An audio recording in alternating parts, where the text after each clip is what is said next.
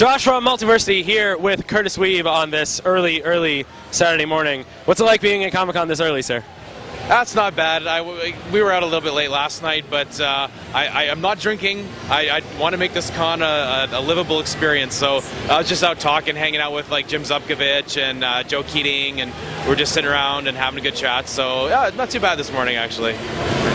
So Intrepids just wrapped uh, a little while ago the first uh, story, and generally well received across the board. How's that been for you? Yeah, it was good. Um, I, right up to the end, like you know, we it was a smaller title. It didn't have like a, a, a, huge following, but you know, the reviews were actually really good up until the end. It was pretty cool. Uh, Daily Blam had followed it from issue one all the way to issue six and reviewed it, and they do like a five uh, exclamation mark rating. And the first issue got I think one and a half or two, and by the end he'd given us four and a half. So we we slowly raised him up to the back up to the to almost full. So it was cool. Like we we, it was a slow start because it was my first comic, and uh, but once I started getting comfortable with the characters, and it just kind of came a little bit more naturally, and so I was much stronger by the end, I think. So can you speak a little bit about the evolution of that story? How long has it kind of been uh, percolating in your mind? Uh, Intrepids, I man, I wrote that. I think it's two years ago now. Uh, so I always knew where the story was going to go. Uh, I knew the twist in the story. I knew kind of the character development and the character arcs. So uh, I've, I've known it pretty well for a couple of years now. It was really satisfying to come to the end and at, at issue six where we just pulled out all the stops and had you know all the characters return and it was like a major action sequence pretty much for 20 pages of just action. It was really fun. I had a lot of fun with it.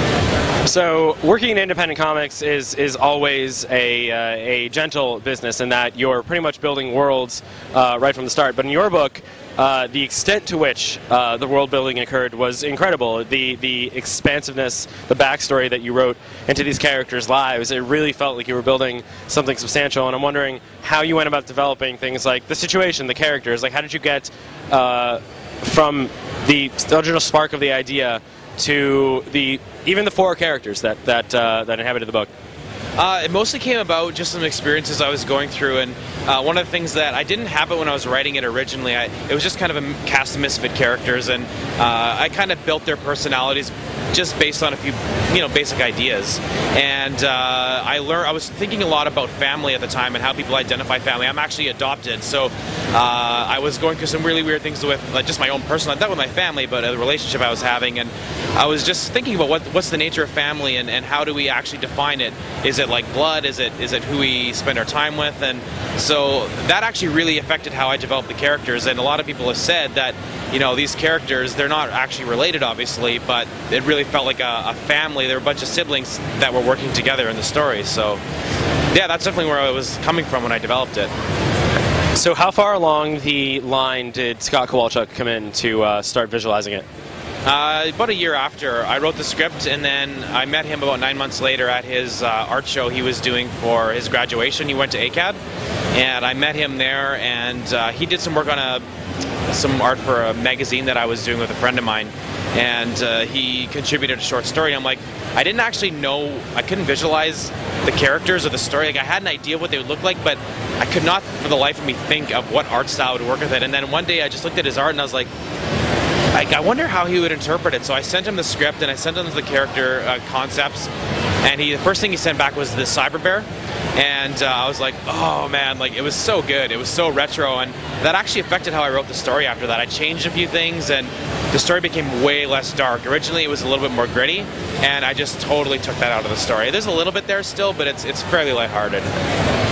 His work is very, very indicative of early Jack Kirby, Will Eisner. Like the, like the Godfathers of comics was really, really reflected in his art. And is that something that obviously you just mentioned that it's not really something that you intended for the book, but do you feel that ultimately it ended up being the right choice? Oh yeah, yeah, without a doubt. I mean, it's funny because you, there's certain stories, like the first series I did, uh, Beautiful Creatures of Red Five Comics. It's kind of a supernatural, bit light-hearted comedy, uh, and if like same with someone like Riley I were on a do Green Wake with, if he had done it, it would be a totally different book, like totally different. And yeah, like Scott was the perfect choice for that book. I mean, it is what it is because of, of his art. I mean, the script was its own thing, but he he made it visually. He made it kind of trademarked it. What the Trepids look like, what their what their world is like. That's that's he did that. So for sure. So you mentioned that you brought a lot of your own personal experience into Intrepids. Moving over to Green Wake, uh, is the world building accomplished in a similar way in that book? Yeah, I was going through something really nasty at the time. I think that's what all writers go through, isn't it? It's it's some awful pain that you go through, and you have to tell it somehow. And yeah, it was it was based on some things I was going through. It was around the same time as Intrepids, actually. And uh, so the first arc is is all focuses on the on the aspects of loss and um, kind of sadness and guilt. As guilt is a is a big theme in the story and how people deal with guilt. And uh, so yeah, it was it was I was thinking a lot about how relationships affect you know our our thinkings about guilt and how we how we act because of our own guilt about how we have treated others or others have treated us. So yeah, it was definitely infused in some of my own experiences. Kind of drawing from the uh, same book as all of rock music. yeah, pretty much. Yeah, exactly. Uh, how did you feel when you found out that uh, Green Wake initially solicited as a five-issue miniseries, now bumped up to an ongoing series? What was that like for you as a writer? Oh, it was good. Like it, it was. We Riley and I had actually talked about, you know, if it does well, do we have, you know, can we extend the story? And uh, it was actually a pretty natural tra- transition. The, a lot of people have asked me, did the story change after you found out it was going to be an ongoing series? And it actually didn't. The first five issues ended exactly as the book would have ended. What we're able to do with it now is all the mysteries and stuff that are, are kind of ambiguous in the story, we can actually answer those those questions now. And uh, Jim Valentino, Shadowline, the guy who runs Shadowline, uh, he asked us after, right after I think issue two came out, and the reviews were really good. He just said, "Hey, would you be interested in doing more?" And uh, so Riley and I sat down and we talked, and we're like, "Yeah, we, like we want to do it." And nothing really has to change. We can still do the first volume exactly as we had planned, and then we have little things that we can add right at the end just to make it, you know, jump onto the new series. So it was exciting, and we have, man, we've, we've got so much planned for it. We, you know, we, we were hoping we'd be able to answer a lot of the questions, like what's with all the frogs? That's the main question we get. What's with all the frogs? Like we have all the answers. I was just talking to a fan who came for a signing, and I told him like every single mystery that we've put in the first arc will be answered. Everything. So, how long now that the book has been uh, given an extended stay? How long are you plotting it out for? About 25 issues total. So we're talking about four more arcs of uh, five issues, and we're kind of restructuring our, our scheduling. Uh, Riley is he's busy and he's he's becoming more in demand, so he's wanting to try a few other things, but he doesn't want to give up Green Wake. So we're going to do five months on. We're going to take a five month break. We're going to fill that, that space without Green Wake with content. We're going to get the trade out in the middle of that five month break, and then we're going to get one shots from uh, other artists and other writers uh, just to kind of, you know, so there's not so much time in between the, each arc. So, yeah. That seems really effective in kind of stretching out your brand a little bit. Like I see your, I see your T-shirt. It's definitely something you guys are, are investing in. You can buy this online, right? Oh yeah, yeah. You can. So uh, moving past Green Wake a little bit, you have a couple projects coming up, starting with uh, Peter Panzerfaust, which I think you said is uh, launching in February. Uh, it comes out. It comes out in February. It's through Shadowline as well, and it is an ongoing series right out the gate. So uh, it's going to be. My plan is roughly the same for Peter Panzerfaust, and the way I'm pitching it is it's Red Dawn meets Peter Pan. So it's basically about, it's set in World War II. It's about a bunch of French orphans that team up with this American boy named Peter. And uh, they are fighting Germans, uh, and they're joining the French resistance, and they're fighting in Paris. And uh, so I'm infusing the Peter Pan mythology into this World War II story in really creative ways. One of the examples that I can give is uh, Captain Hook, who in the, in the original mythology is scared of a crocodile, and he loses his arm because the crocodile bites it off. So in this mythology, there's a, a World War II tank called a crocodile, and it was like a flame throwing tank, and so that's how he loses his arm. And so like things like that, we're going to infuse with it. And we actually have a Facebook fan page, and Tyler has done uh, a mock-up of the SS officer that is the Captain Hook character. It's awesome. So just go to Peter Panzerfaust on the Facebook. It's awesome. It's so cool. And you also have the Grim Leaper in uh, in development. What can you tell us about that? Uh, Grim Leaper, I'm looking at a spring release for that. It's with a Brazilian artist. He's fairly new. He's amazing. His name's Aluisio Santos, and uh, it is Final Destination uh, meets Quantum Leap, and it's it's a black romantic comedy.